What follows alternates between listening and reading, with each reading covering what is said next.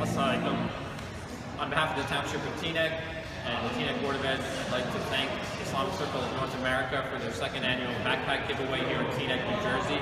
Last year they gave away over 500 backpacks. This year we were able to secure 200 backpacks, but we still had a tremendous deficit in the need. We still had over 300 people who were requesting backpacks and for their kids to go back to school. So please donate to this cause because if you want to change the face of Islam in America, this is how you do it. Don't worry about what's on Fox News.